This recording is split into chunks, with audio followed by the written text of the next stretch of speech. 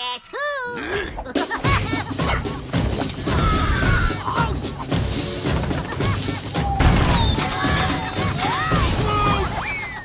The Wilderness Games. It's a lame tradition where every summer we get our butts kicked by the other camp. This might hurt a little. Hoorah! That never gets old. We're gonna train like nobody's watching. Because we'd be embarrassed if someone was watching. Last thing I need is a loudmouth woodpecker spoiling my plan. Whoa. Let the games begin!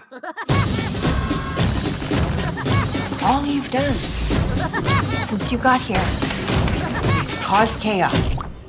Is that my toothbrush?